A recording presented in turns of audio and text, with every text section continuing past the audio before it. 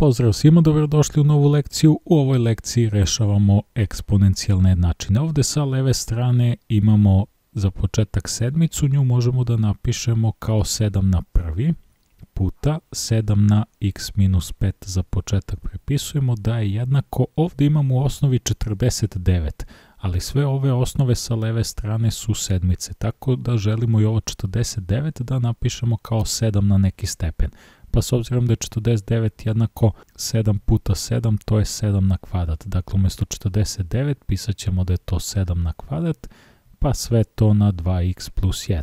Ovde, sada s obzirom da imamo dva broja s istom osnovom, između njih znak puta, mi tu osnovu prepišemo, a gore izložioce sabiramo. Dakle, bit će 1 plus x minus 5, da je jednako a ovde ćemo množiti sa ovom dvojkom ovo 2x plus 1. Dakle, bit će 7 na 2 puta u zagradi 2x plus 1. Ovde ovo sređujemo, dakle imat ćemo 7 na x, 1 minus 5 je minus 4, da je jednako 7 na, a ovde množimo 2 puta 2x je 4x i 2 puta plus 1 je plus 2. Sada možemo da zanemarimo ove osnove i dobijamo linearnu jednačinu x minus 4 da je jednako 4x plus 2. Stavljamo nepoznate sa leve strane, a poznate sa desne. Dakle, 4x prebacujemo sa leve strane. Imaćemo, ovo x prepisujemo x minus 4x da je jednako. Ovo plus 4x ćemo prebacimo, minus 4x ćemo prebacimo sa desne strane, postaje plus 4 i ovo plus 2 prepisujemo x minus 4x to je minus 3x, jer kao da smo oduzimali jedno x od 4x, to je jednako 4 plus 2, 6, delimo jednačinu sa minus 3 i dobijamo da je to jednako, ovde skratimo minus 3, minus 3, dobijemo 6 podeljeno sa minus 3 minus 2. U ovom sledećem zadatku sa leve strane imamo osnovu 2 i osnovu 8, a sa desne imamo osnovu 2. Tako da ćemo ovu osnovu 8 da oborimo da bude osnova 2. Ovaj prvi deo prepisujemo, dakle 2 na 1 kroz x plus 1 puta, a osmicu ćemo napišemo kao 2 na treći. Dakle, to će biti 2 na treći, pa sve to na 1 kroz x na kvadrat minus 1, da je jednako 2 na 3 5 osmine. Opet prepisujemo 2 kroz 1x plus 1 puta, a ovu trojku množimo sa ovim razlomkom i praktično ta trojka prelazi gore u brojilac, pa će to biti 2 na 3 kroz x na kvadrat minus 1, da je jednako 2 na 5 osmine. Sad, s obzirom da imaju istu osnovu i da između njih znak puta, prepisujemo osnovu, a ove eksponente gore sabiramo, dakle bit će 1 kroz 1 x plus 1 plus 3 na x na kvadrat minus 1 da je jednako 2 na 5 osmine. Sada možemo da zanemarimo osnove i ostaje nam dakle da rešimo ovu jednačinu 1 kroz x plus 1 plus 3 kroz x na kvadrat minus 1 da je jednako 5 osmine. Ovo x na kvadrat minus 1 je zapravo primjenom razlike kvadrata x minus 1 što množi x plus 1. Tako da ovde želimo sada da ih dovedemo na najmanji zajednički, da odnosno celu jednačinu da pomnožimo sa najmanjim zajedničkim da bismo izgubili razlomke, najmanji zajednički će biti 8 puta x minus 1 puta x plus 1.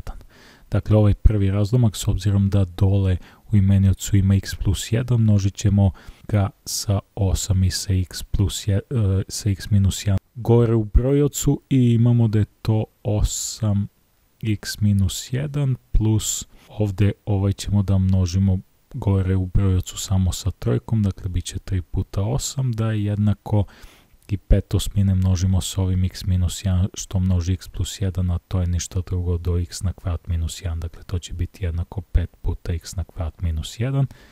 Ovde sad množimo svaki sa svakim, 8 puta x je 8x, 8 puta minus 1 je minus 8, plus 3 puta 8, 24, da je jednako 5 puta x na kvadrat je 5x na kvadrat, 5 puta minus 1 je minus 5.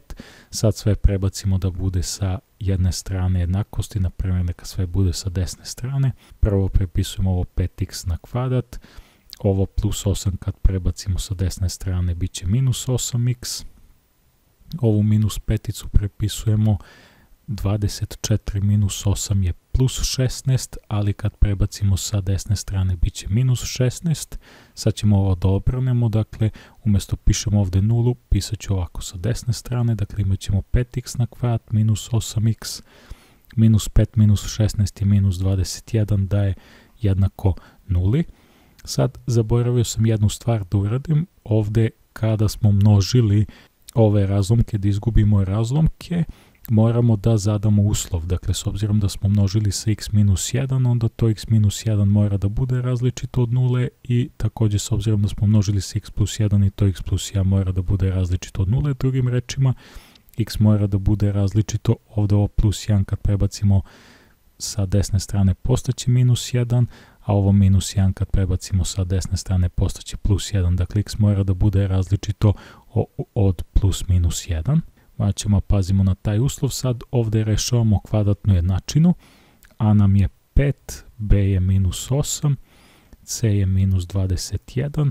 Aj možemo nastavimo recimo ovdje. Dakle imat ćemo da je x1, 2 jednako 8 plus minus koren iz minus 8 na kvadrat je 64. Minus 4 puta a puta c kroz 2a x1, 2 je jednako 8 plus minus koren iz 64, minus 4 puta 5 je minus 20, minus 20 puta minus 21 je plus 420, dakle bit će plus 420 kroz 2 puta 5 je 10, x1, 2 je jednako 8 plus minus koren iz 64 plus 420 je 484 kroz 10, to je jednako 8 plus minus koren iz 484 je 22 kroz 10, x1 će biti jednako 8 plus 22 kroz 10, a x2 će biti jednako